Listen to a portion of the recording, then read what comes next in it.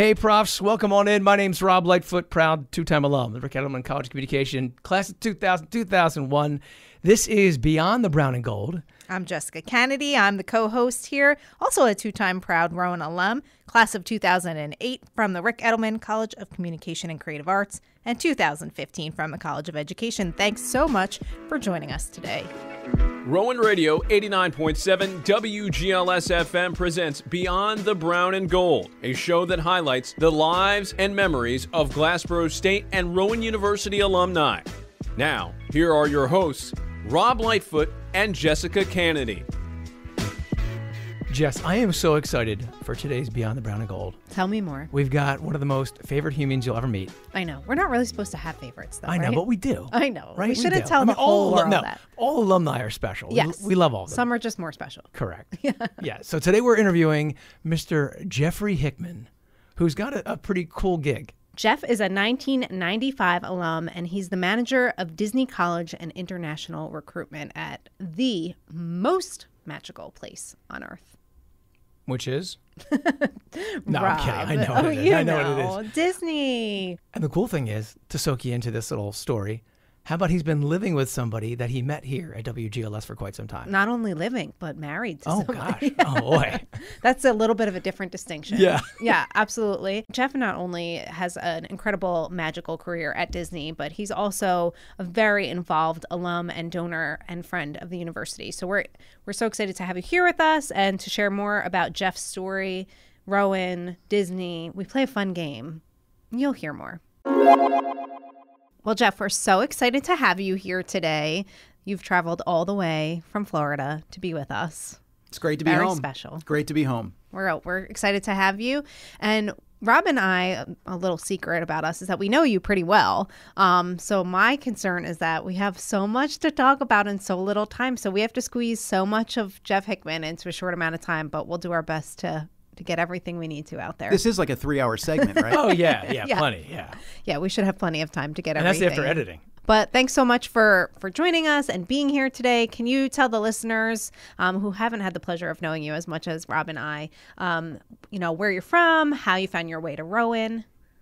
Yeah, um, born and raised in Pitman, New Jersey, about two miles away. So um, that's where that's where I grew up, and it's interesting in looking at where I wanted to go to college. I had applied to Rutgers, York College, and Rowan at the time. Both my brother and my sister went to Rutgers, so naturally I did not go there. But York College was a consideration for me, and it was actually a school that my parents were really pushing, and I say that with love because they wanted me to get what they perceived was the the true authentic college experience. The Living going on- away. Yeah, Yeah. Exactly, living on a college campus, and um, you know, I I had grown up playing a lot of sports at Rowan, being on this campus for other activities, and it just always felt comfortable to me. It always felt like home to me.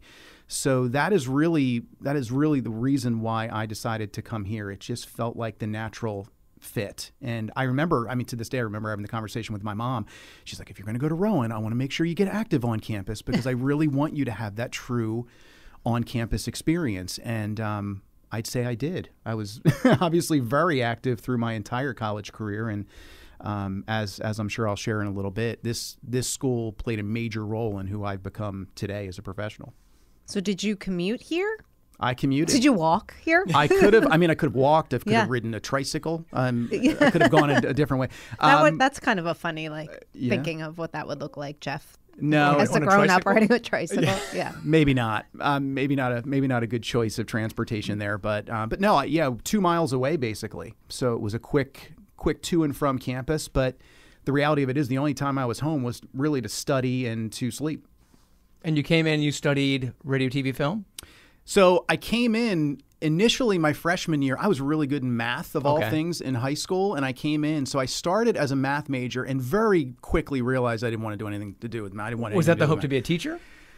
I didn't know what I wanted to do. At Just that knew point. you liked math. Yeah, I knew I was. It was something I was good at. You know, I I, I got here and realized, uh, you know. Calculus with physics was not my thing. Oh. So I feel like algebra is where I just started to go downhill. It's like, oh, nope, don't understand these X's and Y's. That's really confusing. Yeah. I mean, it was just tough. So I, I naturally, I'm, I'm like, all right, well, what are some of the other majors? I, I stumbled across communications. I felt like, you know what, that feels like a, a pretty good fit for me as well. And then probably about a month into uh, my time, my first semester as a freshman, found WGLS, found Frank Hogan, and really the rest is history. And did you jump right into? I know you were active here in, in the sports department. Do you jump right into that, or start start with like on air shows with just music? Yeah, I started. Um, so I went through training. I didn't have. I, I did literally sports updates my first semester, Okay. freshman year, um, to get on air after training, and then I continued to do sports updates my second semester. Um, didn't start with the sports broadcasting, the play-by-play and, and color until my sophomore year, but did start a show. It's funny. We I called it I called it Waking Up Seeing Double. It was a Sunday morning rock show where I played double shots of That's rock. a very cool And so we named it because it was like an 8 a.m. to 10 a.m. Sure. Sunday morning show, and so I'm like waking up seeing double because most people probably are doing that. Yeah, I want to talk about since since the three of us are all WGLS alums. Mm-hmm. I want to kind of dig into that and that sort of like the culture that existed back then because it's not a you know it's not a fraternity or sorority. Has very much the streamline streamlined uh, you know idea, the same norms I guess behind it. And we were fact- all here at different times. all here at mm-hmm. different times, but we all sort of formed those strong relationships that are that are, existed here at the station there, and those friend groups that were here. Mm-hmm. Can you talk a little bit about what that looked like for you and active activity? You know, being an active person on campus, but then also like how that helped your your education piece. Yeah, if, if I wasn't in the classroom and I wasn't sleeping at home Yeah. or studying, I was I was at WGLS. So when I first started here, it was it was behind Savitz. It was the old Oh, wow. It was the old WGLS studios, and then a couple of years later, we shifted over obviously to the new studios as well. But the culture there was what made it special. The friendships that you developed was so special. So I mean, I go back. You know, Mike Shute was the original sports director um, that I was under at that time, and was such a great friend and set me up for amazing success when I took that over when he graduated. But I, to this day, I'm, I'm still in very close contact with eight, nine, ten of those that I worked with at WGLS, um, and not all just sports. I mean, really across the board in the station. We had a we had a membership in the station at the time, probably hundred, maybe Wow. hundred students. So it was it was awesome, and it was it was very much like a family. Mm-hmm. You came in after a class, and everybody was there, You just and came you just here. You, you ate just together. out. You Yeah. cried I At night? Probably cried more than most. but we I don't cried I- together. I we don't- what, what are we together. crying about? I don't know. I didn't cry. Jeff, there's always something to cry about. You skipped classes. You know, we didn't skip classes. no, together. no, we went to class. We went to class. But you weren't just really active in GLS. You were active in a lot of other areas on campus, right? Yeah, I, yeah, I was yeah, I was most active here to be honest with you, um, but dabbled a little bit. I actually played tennis here, and uh, I played tennis here my freshman year uh, because I played tennis at Pitman High School. So I, I definitely played some tennis, um, and then it, the tennis program kind of went away, but there were opportunities to play at the club level. So I, I did play tennis, um, but I, boy, I spent a lot of time here. Yeah. I, I spent We a lot can of time relate. here. Yeah. We still spend a lot of time here. Yeah, I still love it. If I was not a thousand miles away, I may be spending a lot of time. Yeah, here. that'd be great. I may be Can knocking on. back? I may be knocking on Derek Jones's door and say, "I want to do a show on Sunday morning called Waking Up Seeing Double." But- yeah, exactly. I think he'd allow that. now, how did you meet your wife? So your wife is also an alum. So we we refer to uh, alumni couples as or that met at Rowan or Glassboro as prof sweethearts. So how did you meet your prof sweetheart? Was it here? How did you how did you connect? It's so interesting story, and I'm going to start with saying that today is literally our 26th wedding anniversary. So happy That's a- anniversary, Steph! wow, I love happy you. anniversary. Oh, yay, Steph. But um, you know, we talk about the the community that is that was built at the time and that continues to this day with friendships and whatnot um, for for members of WGLS. Um, that's that's a biggie, I would say. Yeah, it's an- it's a pretty big- Um, It's the best friendship I, that I- there you is. know, I would I would definitely say so. You know, st- I had worked a part time job at, at then Superfresh, which I think has been going for many many years, a supermarket in Glassboro, and Steph would come in with her roommates, and I, um, for lack of a better way of putting it, had no game and had. I mean, I, I thought, wow, she's cute and I'd love to talk to her, but uh, I'm afraid to. So I didn't. Uh, ironically, one of her roommates, Steph, is, Steph was an education major. She, she teaches elementary school today. Um, but one of her roommates was a radio, TV, film major who wanted to join WGLS and, and talk Steph into coming over to train with her. Okay. So after seeing Steph in Super Fresh many, many times, and again, not having the courage to say a word to her, I'm standing up because I led training at the time. So I'm standing up and I'm welcoming people into the station, and in walks her roommate, and in walks Steph, and I'm like, mind blown. That's So, incredible. Yeah, so I mean, we we met we met in the station. I was joking earlier. I I literally trained Steph. Um, We have such a similar sweetheart Yeah. story because I trained my husband, who's also a WGLS alum. So that's how we Now, see, connected. I didn't know that. Yep. hmm Me and Jeff were the same person. pretty much. Yeah, I mean, Both love Disney. Yeah, that's true. but yeah, so we we did. We we met here, and um, we we dated a couple of years. We got married out of college, and 26 years later, here we are. Now, was she taken right away? Was it the Super Fresh or the GLS piece? Um, I think honestly, she's gonna hate that I said this. I had I had to break her down a little bit. You know, I, I had to. I was like a I was like a, a chicken pecking at an ankle, right? So hi, hi, hi. I'm here. I'm here. I'm here. I'm here. Sometimes that's what you got It to do. worked. It worked. I Love mean, you, Steph. clearly, yeah. clearly it worked. So I think you did a good job pecking at her. so you, you mentioned Frank Hogan is one of the folks for, for, for folks that don't know. Frank Hogan was the station manager here at uh, WGLS. Retired a couple years back. Still a great guy. We all stay still stay in touch with Frank. Um, who are some of the other folks maybe on campus? Some of the other professors or other mentors that you might have had across campus in different uh, you know, avenues. Oh my gosh. Um, Dr. Coletta with film classes. I love that man. I had him multiple times. He is definitely someone that stood out. Um, Ned, sta- you know, stands out. Um, oh my gosh. I mean, there were. Oh my gosh. I'm just. There's probably there's so many. There were so many. yeah.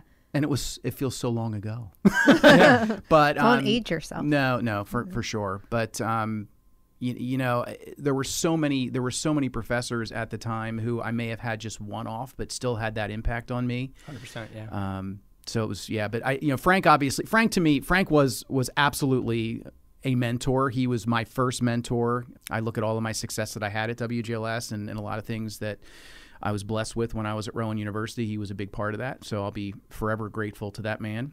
Um, so he he is always going to stand out as kind of that elite individual that I was interacting with day in and day out. Um, but uh, but certainly there were others.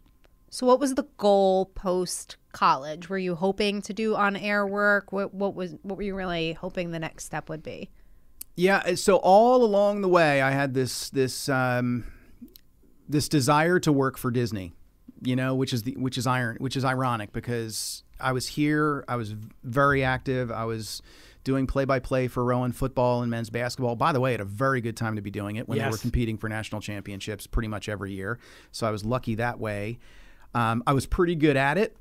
Um, I had after after I graduated from Rowan, I had job offers to go into sports broadcasting to start to start out.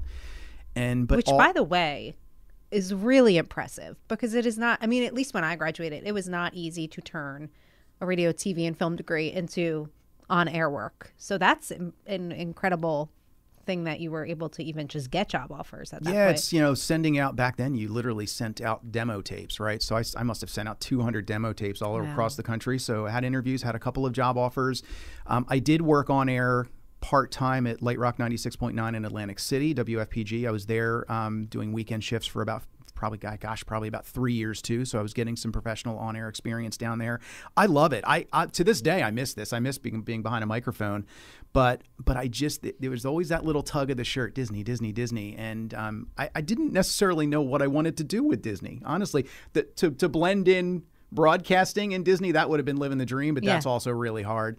But um but i didn't necessarily know what i wanted to do and how i started with disney was a bit off the beaten beaten path So were you like a Disney kid? So like did your family were you one of those families that went to Disney like every year? Like what was the Disney draw for you? It was that. It was we vacationed in two spots when I grew up. We were either in Ocean City, New Jersey for a week on 24th Street hmm. or we were going to Disney. So that was that was our thing growing up and that's really where where I got you know, I kind of got that, for lack of a better way of putting it, pixie dust in the in the veins, right, running running through my blood. That's really, I just felt like it would be a cool place to work. There was, it was massive. There was a lot of opportunity in my eyes, and um, it would be a place that I felt, you know, I'd be really happy working here. And how did you eventually make your way there? So I I finished up at Rowan. I went to Temple University to study for a master's degree in hospitality management, and I at that time I started working as a part-time manager with the Disney stores. Um, and the irony there is I am not a retail guy. like if I'm working in outside retail, I get eaten alive. If I was in a big box store or if I was in a traditional store in a mall, it would not have worked out. But Disney, the, the focus there, not that it's not in those other places, but the focus is so much more on the people side of it. It is driving the the guest experience. It's it's hopefully effectively leading and inspiring your cast members who are working in that store. That's what jazzed me. That's what I loved about it. So I started with the Disney stores, and then when I finished up with Temple, had opportunities to um, to head to Florida and and uh, and start my career at Walt Disney World in retail management before eventually getting over to recruitment. Wow. So you didn't even like the retail side. that's kind of amazing, actually. That that's what took you to where you are today. We won't tell. We won't tell the mouse. Not that I didn't like it. Yeah. But, Right, right, right. But it, but it, there's, and, and the thing is with Disney, if, if we've been to Disney, I know the two of you Yeah. have. Um, I, I say this with love, but I, I've always thought at it as if, if you are effectively leading people and they're enjoying what they're doing, they're providing great service. Yeah, that absolutely. merchandise is going to sell itself, and Yes. everybody walks out of out of a park with a bag of merchandise. Am Oh, right? absolutely. Sometimes a few bags. And then, and then what was? So I know you're not interviewing with Mickey and Minnie when you go down there, but here you are. You're interviewing for like your dream job. Talk to us about that process and what that looked like.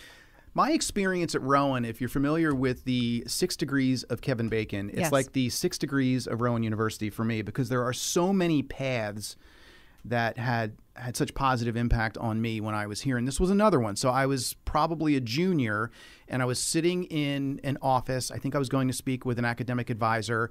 And on the table was a Rowan alumni magazine. And in that magazine, there was a page of different business cards from alumni working in different places. And one of the business cards happened to be from uh, Dottie Gourlay was her name. She was a professional recruiter at Walt Disney World, and I'm like, I've got to reach out to her. So I reached out to Dottie, and really, long story short, um, Dottie turned into a mentor for me. Dottie really was the one who provided advice on the experience I needed. The you know she really encouraged me to think about Temple and grad school as well, knowing that I would be coming out as a young leader.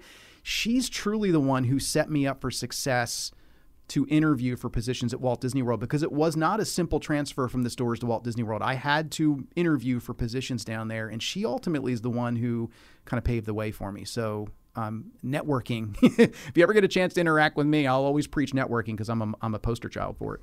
On a scale of one to 10, how hard is it to actually secure a job with Disney?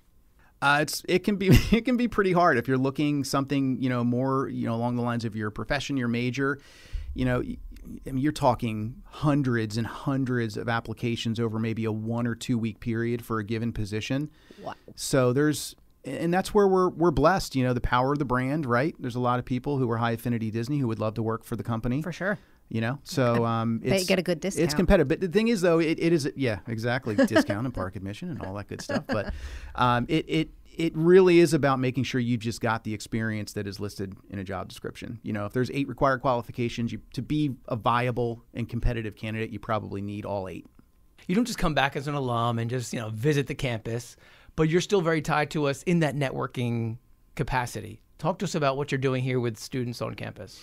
Yeah, I um again any opportunity I can to engage with students and to be back on campus, um, whether it's here in person or virtually, I'm all in. Um, I think you both know that. I love it. So to, today, um, I've got some student engagement um, around our Disney College program experience. So I'm doing a presentation there. I'm going to be talking to some faculty as well. Rowan is actually one of our our top schools in terms of student participation on the Disney College program every semester. We have anywhere between 20 to 30 students from Rowan uh, on that program every semester, which is awesome. Love that. Um, so I do reach out to students who are on the program to offer opportunities to network with me.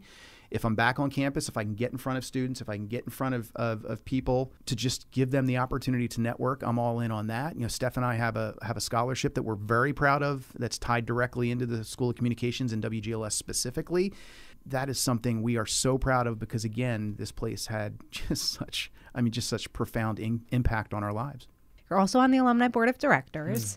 Honestly, Jeff is one of our only alumni board of directors participants right now that's really not local to us, but still a super active member trying to find any way to give back and be involved, even all the way from Florida. So kind of worked out because when you joined, not that COVID could make really anything work out, but in an ironic way, we went virtual with a lot of our alumni board initiatives during COVID. So it was a great way to engage with alums who weren't local and that's kind of where we where we got you and how long have you overseen the disney college program So I've been with Disney a total. I hit 25 years this year. Boy, time flies. But so I've been with the company for 25 years. I've been on the recruitment side, our college and international recruitment team for 19 of those 25 in various capacities. I've worn, as they say, a lot of different Mickey Mouse ears over the years. oh so that's cute not like hats you know, ears. not hats. Cute. It's always ears. They're- You know? she's going to steal that for i her. know i feel like Ah. i need to start using it That's so funny. but no, I've been. I mean, I've been a recruiter at various levels. I will tell you, there is nothing more special to me to be able to come back to my alma mater and represent Disney. I don't know if it gets much better than that in my eyes. So that's really cool. I've been in, leadership roles on our team probably for about a dozen of those 19 years. So um, I'm one of uh, you know a handful of managers who oversees all of our college and international recruitment. and recently we were very excited to see that you received the disney legacy award Hmm. can you talk a little bit about that and what that means to you Yeah, that was. I'm looking at my hand shaking. I know, now, you just look thinking about it. nervous So all of a I. I will tell you, in my lifetime, I think I'm hard to stump and I'm hard to surprise.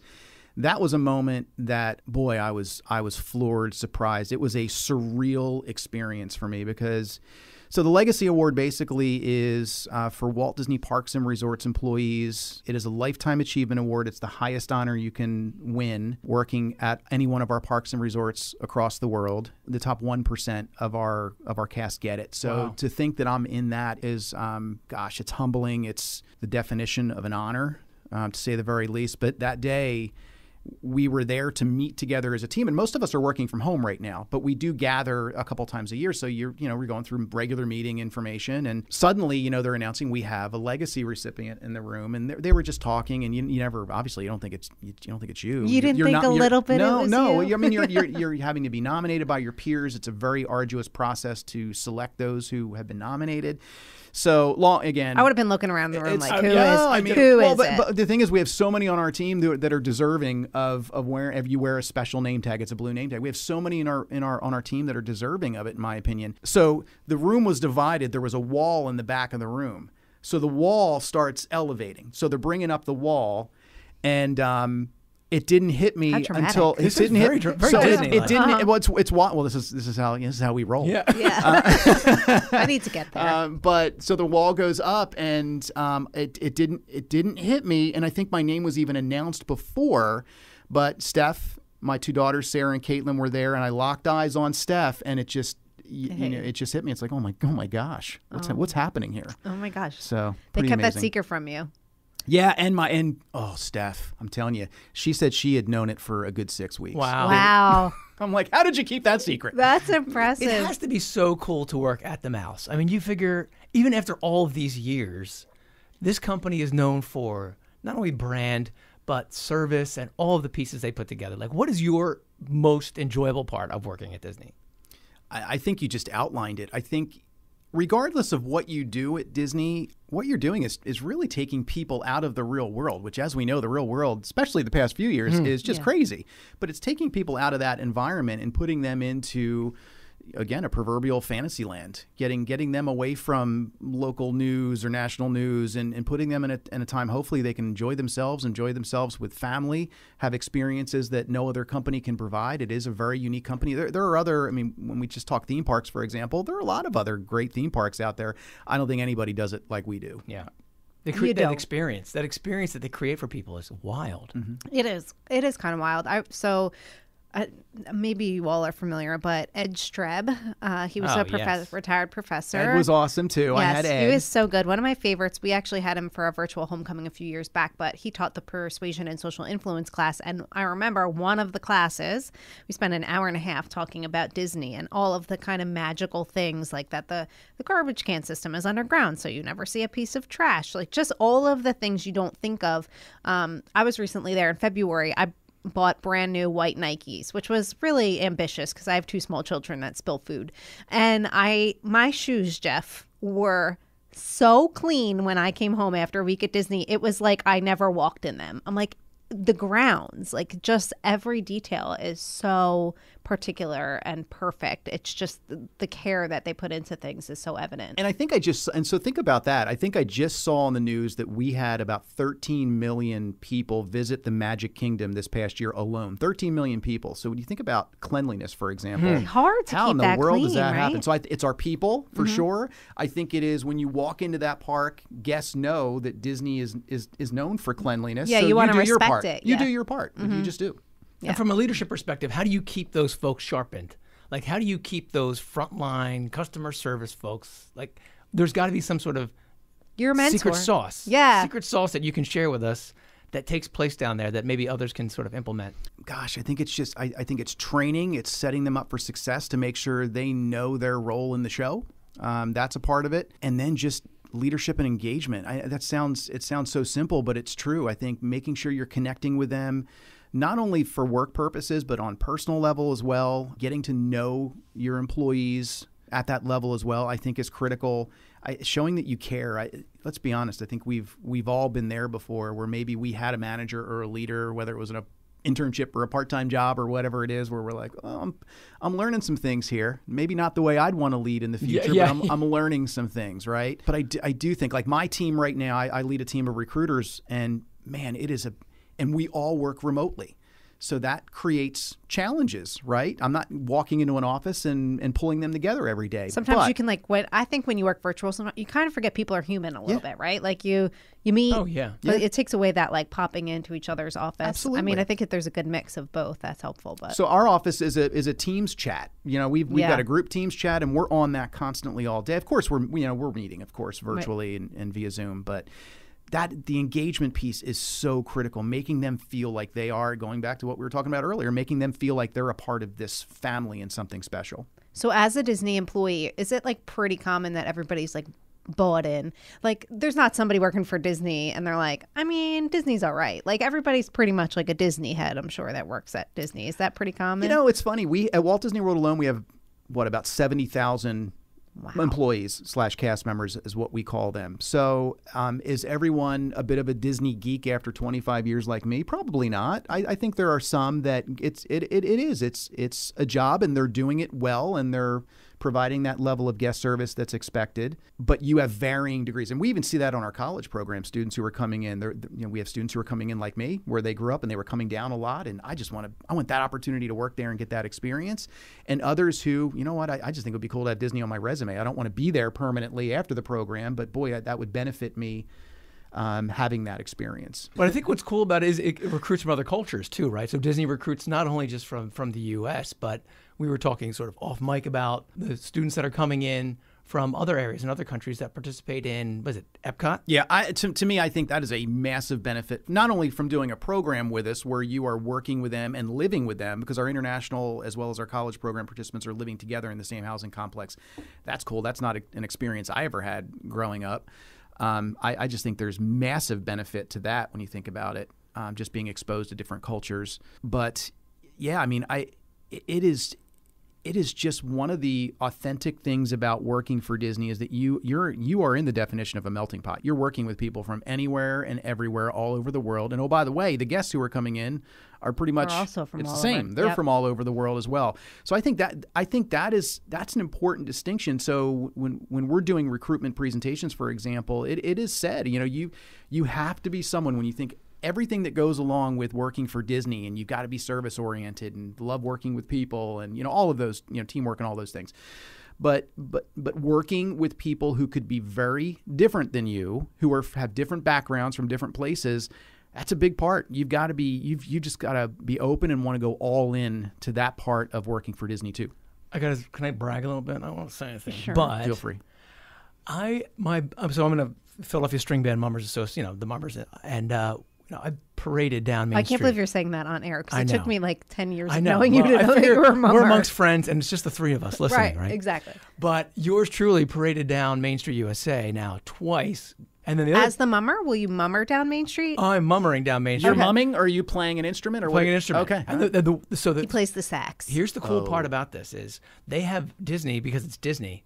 They tell you exactly when to stop, when to start. You have a guide that tells you the spacing that you need to have.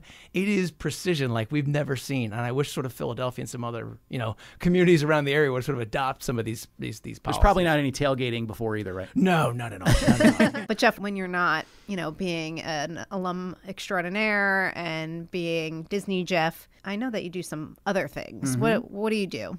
What do you do for fun? again play a ton of tennis i'm still playing tennis two two three times a week on average um, and i am a i'm a band dad um, I'm all in. So my daughter, uh, my daughter, Maybe she'll be a Sarah- mummer. Yeah, maybe. Well, my my my daughter Sarah is a percussionist for uh, for band at her high school. As a sophomore, she is the center snare drummer. That is proud dad talking. She's got some serious game, Yeah. and it's really cool to watch her. So I am. Uh, in addition to being on this, the Alumni Association Board of Directors for Rowan, I am also the vice president of the parent boosters for the Lake Minneola High School Marching Band. All right, all right. Proud dad. I love proud dad Absolutely. stuff. You know, certainly, you know, my family obviously is everything to me. So any any opportunity I have to spend time, um, whether it's with Sarah with band, um, with Steph with different things. Obviously, Caitlin is my oldest daughter is um, a sophomore in college in Central Florida. Um, so Where does she go? She goes. So she's finishing up at Valencia College in Central Florida. It looks like is uh, it's Florida State University Okay. for the next two years. Wow. she's going to be a Seminole. I feel like you should, but I feel like you could squeeze in there like a podcast. I feel like you should have like a mentorship, leadership. pod- Don't you Yeah, think, I feel like Disney can set that up. No, Let's do it. Yeah, let's send it in I the think you tape. Let's something. record this, send it in the Let's- let's tape, and then Yeah. let's see what they can do for you. How about how Could about be this? The name of it, All Ears. oh yes, Rob. I'm all, I'm all ears. That's not bad. That's Off- not I mean, off the cuff like Off the that. cuff that's like that. impressive. Let's That is do it. really good. Let's he didn't it. even write that down. I No, promise. let's start the branding. I love it. All right, Jeff, we want to play a little game with you because, admittedly, I love me some Disney. Rob's, I think uh, he's an appreciator of Disney, Yes. but maybe not like a Disney head. We'll get him on board. Yeah. Yeah, yeah. Okay, so we want to play like a quick game with you because I could talk Disney with you until next week, um, but I know you have to go back home to your family. So we want to do a quick fire Q and A with you. This is all opinion based. Your opinions on all things Disney. You got to say the first thing. We're going to do it quick. So the first thing that comes to mind: favorite Walt Disney World Florida resort, The contemporary favorite classic Disney movie, Aladdin. most yummy Disney snack, I'm going Dole Whip. better to visit at Halloween or Christmas, Halloween. favorite Disney property. I'm bound to say Walt Disney World, but I'm going to go off the cuff a little bit and off the beaten path and say uh, Tokyo Disneyland of a different place I visited. Favorite Disney movie character? Sebastian from The Little Mermaid. That's a unique one, right? Yeah, actually, that's not what I've thought. But okay, so I mm-hmm. have to dig into that. Yeah. Why is rapid fire? Yeah, I know. Now I have to pause. Why? Love his personality. He's just real. He's kind of like Donald in a sense, but he's just he's just He's got like a little real- cranky. He's a little cranky, but Yeah. that's okay. That's him. That's him being He's real. being so he's him. just fun personality. He can sing. If we're circling back, then for those of us not in the know, what is this Dole Whip you talked about before? Oh, you, you- don't know what you- I don't know what that is. Are you kidding me? No, I don't know what it is. Oh, Dole, yeah, Dole Whip is magical. So it is a pineapple vanilla soft serve swirl that is um, incredible. Is it just in one park? It's well, it was in one park for years. It was just in Magic Kingdom and Adventureland. Now they've expanded a little bit. Okay. So um, you can get it at the Polynesian Resort. You can get it at Epcot with a twist, and we'll leave it there. Oh, look at them oh, suck it right in. I love it. Okay, your favorite ride? It's a tie: Tower of Terror, Twilight Zone Tower of Terror, and the Haunted Mansion. Ooh, okay. Ooh, a little spooky. You like I spooky love the Tower of. Terror. That's some of my favorites. Best Disney song. You don't have to sing it, so there's no there's no pressure to Or get you lyrics. can. Or That'd you be can fun. if you'd like to do that as well. I'm gonna go, I'm gonna go back to Aladdin and say "Friend Like Me," Robin Williams. Most worthwhile perk to pay for. I would say right right at this moment, you can use Lightning Lane, which is like 15 bucks or whatever. If you're in Epcot, this is going to be really super specific, but the new Guardians of the Galaxy attraction at Epcot is phenomenal, and um, if you're there, you need to ride it. So that would be my that would be my, my choice. Okay, Frozen one or two. Frozen one. Oh no, disagree. I've not seen two. What? I know. Two's. Is it because you're holding on to the magic of one? I'm holding on to the magic of Frozen one. Oh, I, I I just can't let it go. yeah. Wait a minute. I see what you did there. There you go. There you go. Okay, best Pixar movie. Oh my gosh, all of the Toy Stories. Sorry. Which Those one? Are You just gotta pick phenomenal one. movies. You- Then you go with the original Toy Ugh, Story. I say four. They're People, great. That's not a popular opinion to say four. Uh, People think I'm terrible, but four is the best. Your favorite character to interact with at the parks? I, I got to go with the boss and Mickey. I was hoping so. Yeah, because Yeah. Mickey wears different things. So you could be at Epcot and, and Mickey could be wearing just his traditional, you know, outfit. And, and in other cases, he could be wearing a suit, you know. So you can see you can see Mickey uh, in different forms based on what he's wearing. Favorite restaurant? Uh, the California Grill at the Contemporary is pretty fabulous. You like the contemporary? Yeah, so that's the second time Big he's mentioned it. contemporary fan. Best Disney villain. I'm going to go away from Aladdin this time. I'm going Hades from Hercules. All right. Okay. And if you had to choose, Star Wars Galaxy's Edge or Toy Story Land? Not a Star Wars guy per se. Seen all the movies, but I would go with that land because that was really spectacularly done by Disney Imagineering. It is it is phenomenal. So Not a Star because it was big when you were growing up. yeah, it was, and I've seen all the movies, and I've liked I've liked the movies, but I'm not necessarily at that level Got it. of Star Wars geekness. Got it. I get it. We appreciate you making time in your schedule to come to GLS and chat with us and share your story. Uh, my pleasure. It is. I can't tell you. It's just awesome. Awesome to be back. So really, my pleasure. Now that everyone's heard the interview with Jeff, I think maybe he'll be one of their favorite alums. I think so too. too. I Yeah. think I think everybody, even if they live with another alum, they'd probably like Jeff better than the other person. Oh, anyway. I forgot that I live with another. yeah. You, alum. so so let's get your answer. Uh, shouldn't say on air. Okay, all right, well, but. I will tell Brian, my prof sweetheart. He knows how I feel about Jeff and and uh, Jeff's experiences with the university. So always so much fun to chat. Your favorite part was our game, right? I do. I love the game. And what was that stuff called? The the quib. What was it? The Quib. dole, the, the, The what? quib- the what? The Dole Whip. The Dole Whip. I'm Rob try- had never heard of a Dole Whip. Can I, I'm gonna try to make that at home. I know there's probably recipes No, online, but it doesn't it's have not- the special magical dust that they probably put in there. Yeah, and like it won't you won't be eating it at Disney, and I feel like that's part of the, magic yeah. of like being there. Maybe I'll watch a Disney movie and make it. What is your favorite Disney movie? I don't Ooh. I don't think I know that. Actually, I, well, growing up, I was a big fan of the the Aladdin one. Okay. Yeah, so I think I like that one. Jeff's best. favorite, too, Yeah, so. because I think Robin Williams, that character, the genie, was just like off the charts for me. Genie of the Lamp. Okay, That's me. That's my best Robin Williams impression. Wasn't that good? I, I, thought he was here.